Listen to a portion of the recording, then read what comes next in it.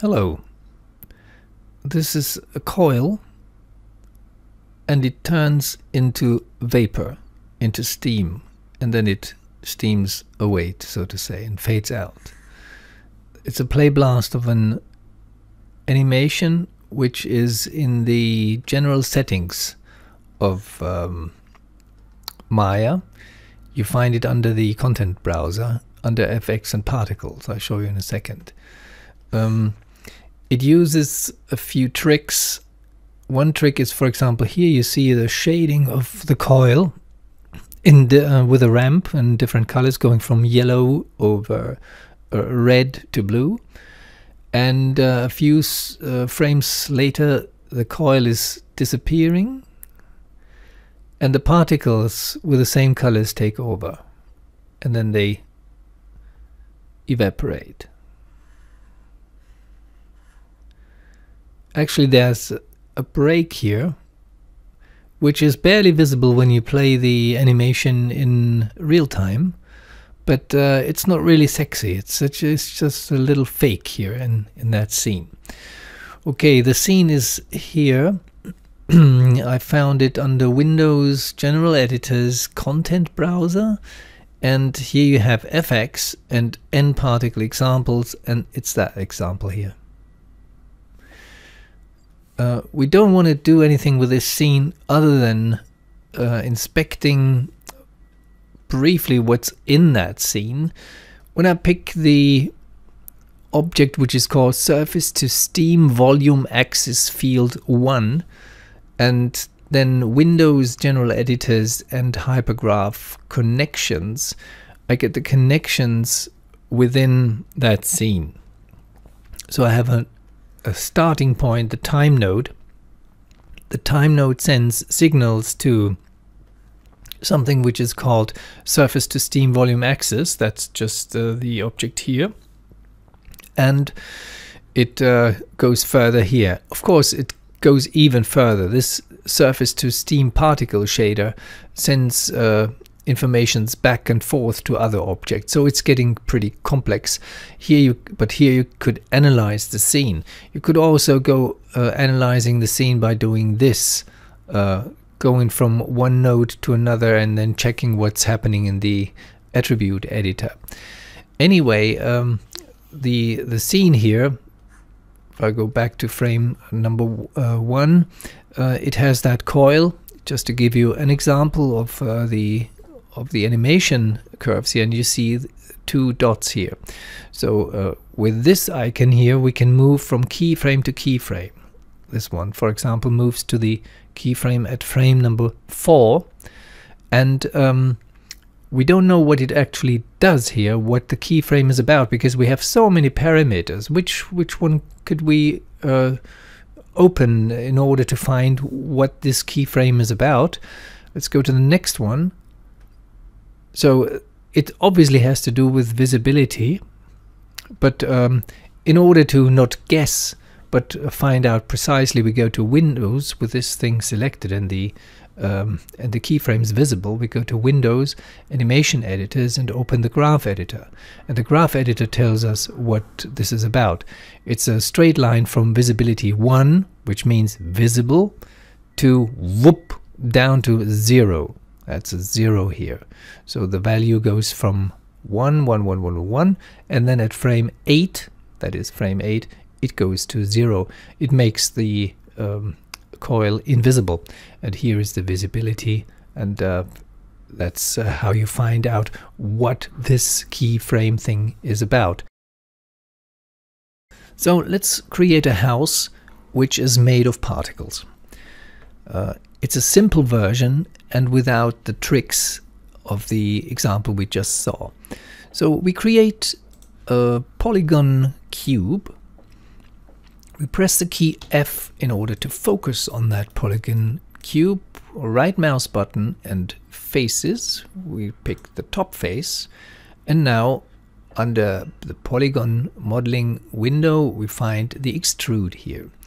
You also find it under the in the menu set for the polygon modelings if you go to modeling here. Okay, so we extrude this and we move it a little bit up and scale it like this. So we have a house. It's basically all right mouse button object mode. So this is the house we have and uh, we move it a little bit upward and scale it up so it gets a little bit bigger.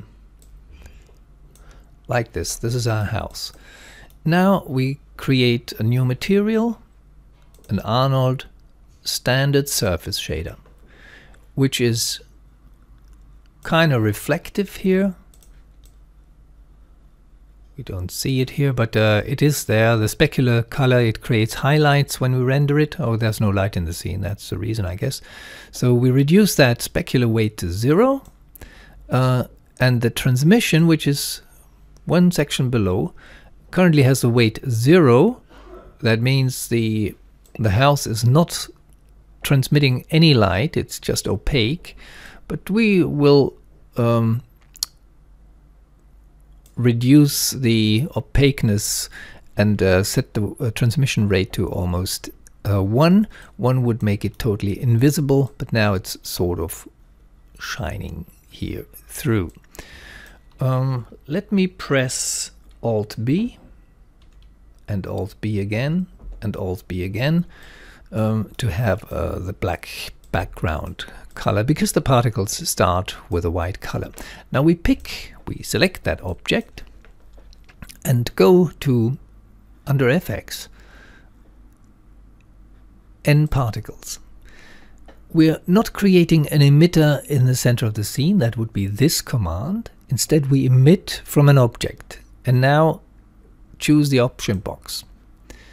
The option box in the default settings uh, looks like this.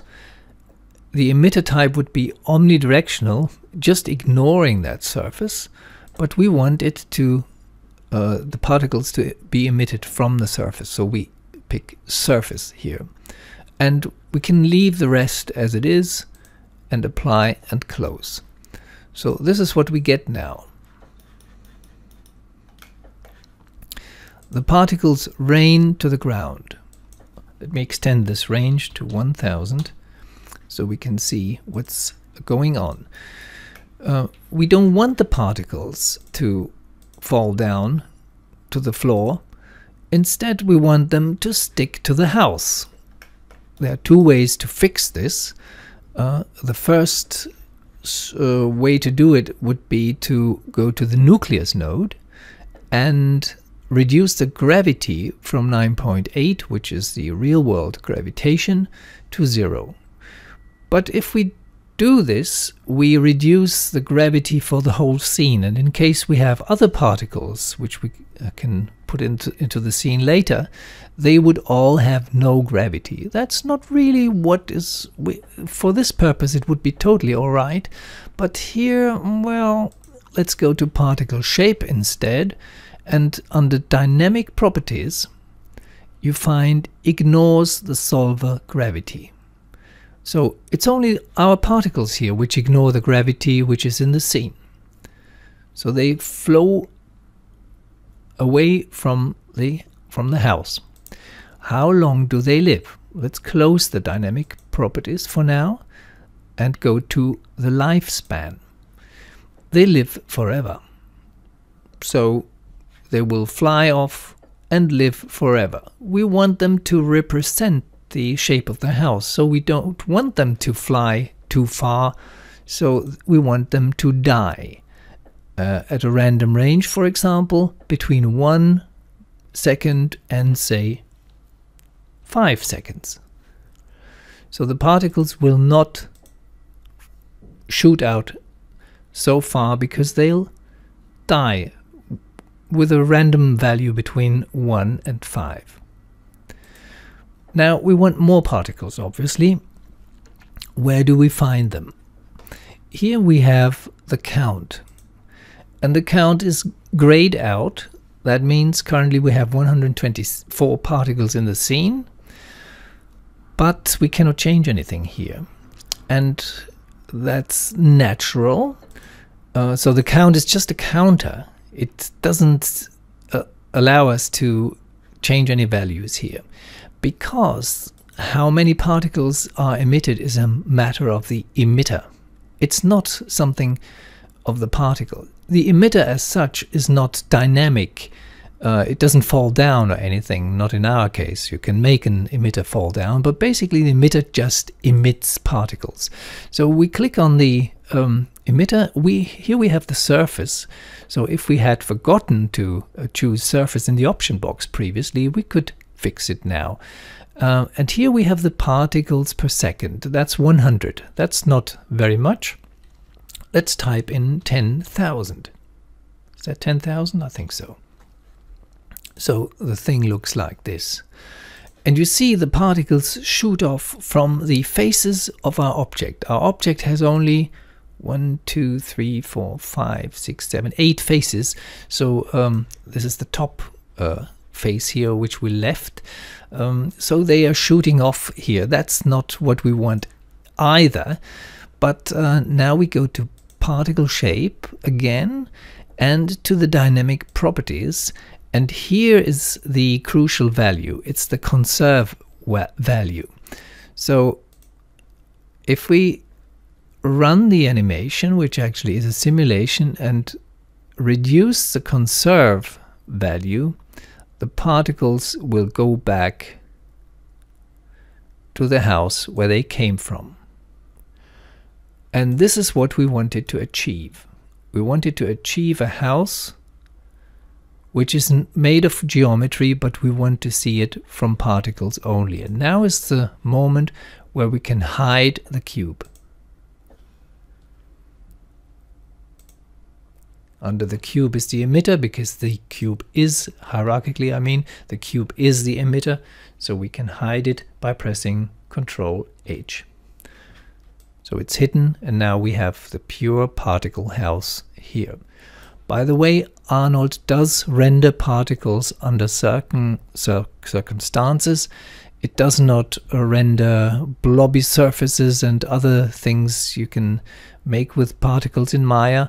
But uh, if you create a light, like an area light here, um, rotate it, tilt, a little, tilt it a little bit and move it up and scale it up, then you can render it with Arnold and it will show you the house like this. Well, it doesn't look exactly the way as it does here in the viewport, but uh, it does its job and you have to try out to work with colors and the colors are here. You uh, pick the particles, close all the tabs here and under shading you find the, the, the render types and as I said before the blobby surface for example which is quite nice cannot be rendered by Arnold. I would be amazed if it would be. Actually, Arnold tries to do something with it. uh, well, that that's a typical Maya thing. Um, you can have a multi-point uh, thing with um, an amount of counts here, three three particles per particle, so to say. Uh, but let's stick to points here. And uh, slightly further down is the color, and the color is uh, it, uh, you you can easily uh, use a ramp. For example, a ramp going from red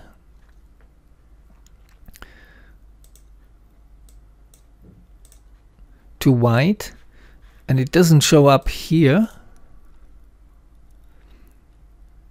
because uh, it's con currently constant. So I think it's uh, set to that value here.